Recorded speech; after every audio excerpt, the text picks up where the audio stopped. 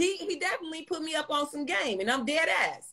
And maybe that's why he not on here because he's still kind of dealing with his shit. But I am here to accept accountability for my life, myself, so I can continue to move forward. Because I'm in love. I love love. I have a great life. For somebody to post me on their page and say that we laugh at you while y'all in y'all bedroom where y'all supposed to be fucking or having intimate time, that's crazy to me. Out of nowhere. Cause I don't talk to him. I haven't seen that man. I haven't um dated that man in forever. So the question was why y'all posted that video of me anyway? If I'm so called um uh what this is the reality she said if i am um chasing that man and that man don't want me and i am um delusional i forget all the other shit but i've been reposting all the stuff. But with all if every single thing she said was true right crystal? If everything she mm-hmm. said was true why would you post me on your page in a tiktok to alert the crazy deranged girl? Why would you do that and then exactly. tell me, tell me this. What have I done that has been crazy? What have I specifically done to chase that man?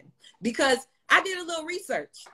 You know, because since y'all was pulling me into court for being the side bitch today, you know, I had to have my case, Crystal. I had to have my mm-hmm. case. So I did, you know, I did what lawyers do. We prepare, you know, we prepare. Hold on. We got some um some hood juror comments because you know I'm missing shit. Because I'm so eager, you know, to state my case. So let me let me let me backtrack because this is the case of of uh I, am I the side bitch delusional whatever whatever and leave her alone? And she said it um whatever. Bitch your baby daddy scared of you. Them old ass war stories from savannah i don't give a fuck about none of that shit that's why i'm handling my business this is the last time anybody will hear anything about this from Tiffany M. Simmons. And then I'm going to continue to move on with my life.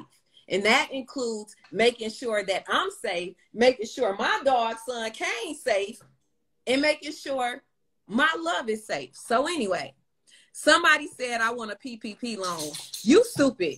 You stupid.